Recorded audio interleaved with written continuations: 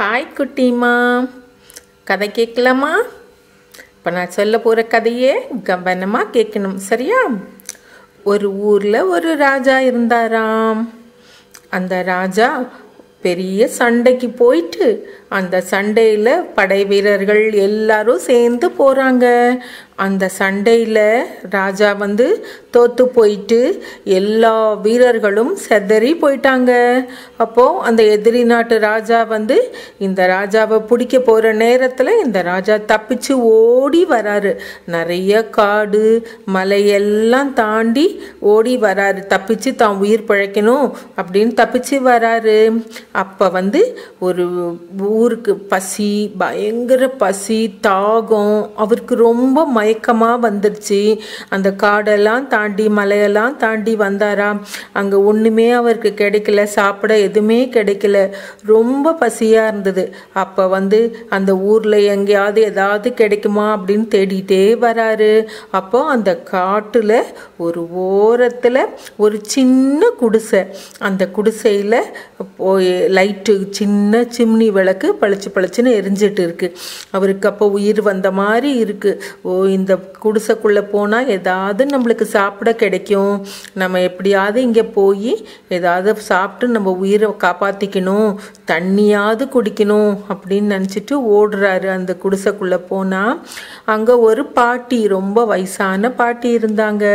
அந்த பாட்டி கிட்ட போய் இவர் நிற்கிறாரு இவர் பார்த்தா ரொம்ப அப்படியே களைச்சு போய் ரொம்ப அழுக்கெல்லாம் மேலே ஆகி தப்பிச்சு வந்திருக்கிறத பார்த்துட்டு அந்த பாட்டி என்ன நீ யார்? ஏன் இப்படி களைச்சு போய் வந்திருக்க? அப்படின்னு கேட்குறாங்க அப்போ இந்த ராஜா சொல்கிறாரு தான் ராஜான்னு சொன்னால் அந்த பாட்டி என்ன நினைப்பாங்களோ? நமக்கு முதல்ல சாப்பாடு சாப்பாடு வேணும்னு ஒன்றும் சொல்லாமல் எனக்கு ரொம்ப பசிக்குது பாட்டி எனக்கு ஏதாவது முதல்ல சாப்பிட கொடுங்க அப்படின்னு சொல்கிறாராம் உடனே இந்த பாட்டி ஒன்றுமே பேசாமல் சரி நீ கொஞ்ச நேரம் இரு அப்படின்னு சொல்லிட்டு உள்ளே போய் அடுப்பு பற்ற வச்சு ஒரு அடை ஊற்றி கொடுக்குறாங்க. தோசை மாதிரி இருக்கும்ல பருப்பு அடை. அதை அந்த பாட்டி வந்து ஊற்றி அந்த ராஜா கிட்ட கொடுக்குறாங்க. அந்த ராஜா வந்து அந்த தோசையை வாங்கி அந்த அடையை ரொம்ப பசி அவருக்கு. அவசர அவசரமாக முதல்ல தண்ணியை குடிச்சிட்டு அப்புறம் எடுத்து அந்த தோசைக்குள்ளே நடுவில் இருக்கிற பகுதியை பிச்சு சாப்பிட போகிறாரு அப்போ வந்து அந்த பாட்டி வந்து என்ன இது? எங்கள் ஊர் மட சாம்பிராணி ராஜா மாதிரி நீயும் பண்ணுற அப்படின்னு கேட்குறாங்க அப்போ வந்து இந்த இந்த ராஜாவுக்கு ஒன்றுமே புரியல. இது என்ன பாட்டி இப்படி சொல்கிறாங்க சாப்பிட போகிறப்போ இந்த மாதிரி சொல்கிறாங்களே அப்படின்ட்டு அந்த பாட்டியை பார்க்கும்போது அந்த பாட்டி திருப்பி சொல்கிறாங்க எங்கள் ஊர் மடசாம்பராணி ராஜா பண்ண வேலையை தான் நீயும் பண்ணுற அப்படின்னு சொல்கிறாங்க இந்த ராஜா வந்து என்ன பாட்டி சொல்கிறீங்க பசி நேரத்தில் அப்படின்னு சொல்கிறாங்க நான் சாப்பிடும்போது இப்படி சொல்கிறீங்க பசியோடு சாப்பிட போகிறேன்ல அப்படின்னு சொல்லும்போது நீ செய்கிறதெல்லாம் சொல்கிறதெல்லாம் சரிதான்ப்பா. ஆனால் நீ இப்போ எப்படி சாப்பிடணும்? இந்த அடையே ரொம்ப சூடாக இருக்குது இப்போ நீ போய் அந்த நடுவில் இருக்கிற பகுதியை பிச்சு சாப்பிட்டீன்னா உன்னால் எப்படி இவ்வளோ சூடாக சாப்பிட முடியும்? இந்த பசி நேரத்தில் நீ என்ன பண்ணணும்? சுற்றி இருக்கிற அடையை எல்லாம் ஆறி போனதை கொஞ்சம் கொஞ்சமாக பிச்சு சாப்பிட்டேன்னா உனக்கு வயிறும் ரொம்பவும் பசியும் ஆறும். அது நீ சுற்றி இருக்கிறத சாப்பிட்றதுக்குள்ளே நடுவில் இருக்கிறது அப்படியே ஆறிக்கிட்டே வந்துடும்.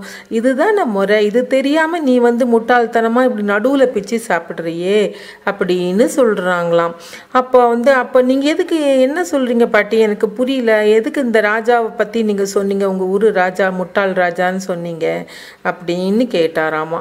அப்போ வந்து அந்த பாட்டி சொன்னாங்களாம். எனக்கு தெரியும் நீயும் ஒரு ராஜா தான் உன்னை முகத்தை பார்க்கும்போது உன்னோட அசைவு ஒன்று ஒன்று ஒரு ராஜான்னு உன்னை காமிச்சு கொடுத்துருச்சு. நீயும் ராஜா தான் நீயும் இப்போ எங்கள் ராஜா பண்ண அதே முட்டாள்தனமான வேலையை தான் நீயும் பண்ணிட்டு வந்திருக்க. அதனால் இப்போ நான் வந்து சொல்கிறத நீ கேட்டு யோசனை பண்ணி பாரு கொஞ்சமாவது அப்படின்னு சொன்னாங்களாம். ஏன் சொல்லுங்க பாட்டி நீ முதல்ல சாப்பிட்டு முடி நான் சொல்கிறேன் நீ பசியோடு வந்திருக்க. நான் சொன்ன மாதிரி சுற்றி இருக்கிறதெல்லாம் சாப்பிட்டுட்டே வா வந்து அப்புறம் கடைசியில் நடுவில் இருக்கிறத சாப்பிடு அப்படின்னு சொன்ன உடனே அந்த ராஜா முதல்ல பாட்டி சொன்ன மாதிரி சுற்றி இருக்க மெதுவாக சாப்பிட்டுட்டே வந்து நிம்மதியாக சாப்பிட்டு தண்ணி குடிச்சிட்டு வயிறு பசி ஆறிடுச்சான் அப்போ சொல்லுங்க பாட்டி இப்போ சொல்லுங்கள் நீங்கள் என்ன சொல்ல வரீங்க அப்படின்னு கேட்ட உடனே அந்த ராஜா சொல்கிற அந்த பாட்டி சொல்கிறாங்க ராஜா நான் வந்து நீ இப்போ என்ன பண்ணிட்டு வந்த? நீ போய் நடுவில் போய் கோட்டையில் போய் நின்றுட்டு நீ சண்டை போட்டுட்டு இருக்கியே. இந்த நாட்டை எப்படி நீ பிடிப்ப? உனக்கு கொஞ்சமாவது யோசனை இருக்கா? நீ என்ன பண்ணியிருக்கணும் இப்போ இந்த அடையை சுற்றி இருக்கிறத சாப்பிட்டுட்டு நடுவில் இருக்கிறத சாப்பிடும்போது சுற்றி எல்லாம் ஆறிக்கிட்டே வந்தது. அப்போ நடுவில் இருக்கிறத நீ சாப்பிட்றதுக்கு உனக்கு சிரமம் இல்லாமல் இருந்தது. இந்த மாதிரி நேரத்தில் உனக்கு சாப்பிட்றதுக்கு எவ்வளோ ஈஸியாக இருந்தது? அப்படி இருக்க மாதிரி நீ இந்த நாட்டை கா கேப்சர் பண்ணுறது இந்த நாட்டை பிடிக்கிறது நீ அப்படி தானே பிடிச்சிருக்கணும்? நீ என்ன பண்ணியிருக்கணும்? வெளிப்புறத்துலேருந்து இருந்து சுற்றி இருக்கிற பகுதிகளெல்லாம் ஆக்கிரமிச்சுக்கிட்டே வந்து அப்புறம் நீ நடுப்பகுதிக்கு வந்திருந்தேன்னா எளிமையாக நீ இந்த நாட்டை பிடிச்சிருக்கலாம்ல. சுற்றி இருக்கிற பகுதியை நீ கைப்பற்றுறது ஈஸி தானே. உனக்கு ரொம்ப எளிமையாக இருந்திருக்கும். அதை விட்டுட்டு நீ எடுத்த எடுப்பில் நடுவில் போய் நின்ன உடனே அங்கே ரொம்ப பாதுகாப்பான இருந்த இடம் அது. உன்னை ஈஸியாக அவங்க வந்து உன்னை தோக்கடிச்சிட்டாங்க. நீ புத்திசாலித்தனமாக என்ன பண்ணியிருக்கணும் சுற்றி இருக்க பகுதியை முதல்ல பிடிச்சிட்டு நடுவில் போயிருக்கணும்? அப்படின்னு சொன்ன உடனே அந்த ராஜாக்கு அப்போ தான் தன்னோட தவறு புரிஞ்சுதான் ஐயோ ஆமாம் பாட்டி நீங்கள் சொல்கிறது சரிதான். நான் இதை பண்ணியிருந்தேன்னா இன்றைக்கி நான் இப்படி தோற்று போய் ரொம்ப அவமானப்பட்டு நிற்க மாட்டேன். இப்போ நான் சொல்கிறத புரிஞ்சுக்கிட்டேன் நீங்கள் சொன்னதுன்னு சொல்லிட்டு அந்த ராஜா உடனடியாக என்ன பண்ணாராம் அவங்க செதறி போன அந்த வீரர்களெல்லாம் போய் தேடி பிடிச்சி எல்லாரையும் ஒன்று சேர்த்து திருப்ப அதே மாதிரி போய் பாட்டி சொன்ன மாதிரி சுற்றி இருக்க பகுதிகளெல்லாம் பிடிச்சிட்டு அப்புறம் போய் ஒரு நாள் அதுக்குள்ளே நிறைய வீரர்களையும் சேர்த்துக்கிட்டாராம் அப்போ அந்த நாட்டுக்குள்ளே இருக்கிறவங்களும் நிறைய பேர் இந்த ராஜா கிட்ட வந்து சேர்ந்தாங்களாம். அப்போ அந்த ஈஸியாக போய் அந்த நடுவில் இருக்கிற கோட்டையை பிடிச்சி அந்த ராஜா வெற்றி பெற்றுட்டானாமா.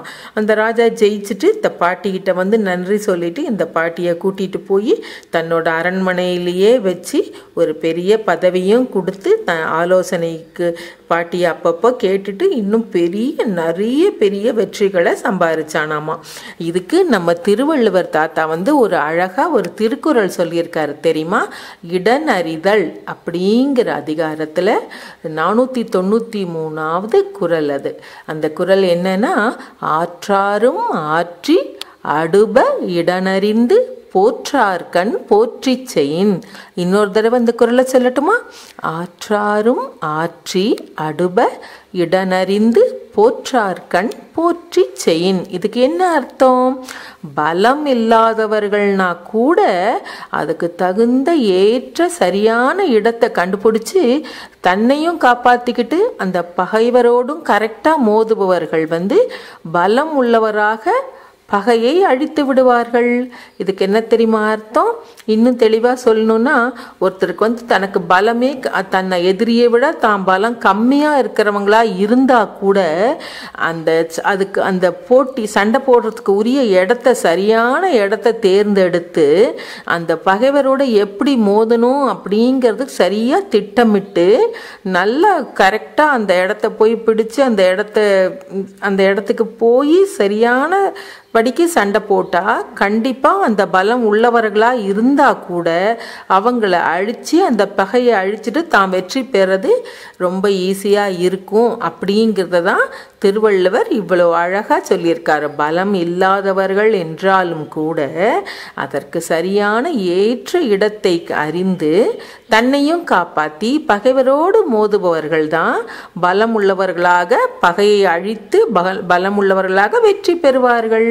புரிஞ்சுதா? திருப்பி இன்னொரு நாள் நாளைக்கு ஒரு கதை பார்க்கலாமா? வணக்கம்.